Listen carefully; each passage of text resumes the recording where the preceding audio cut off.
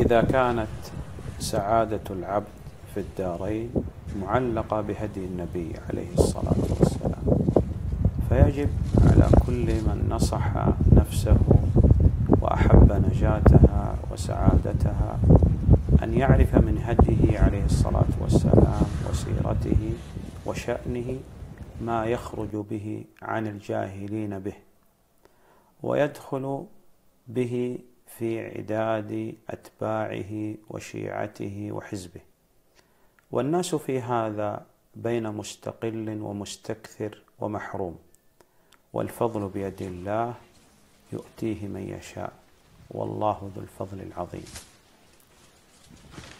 فلا بد لنا إلى معرفة هذا النبي عليه الصلاة والسلام.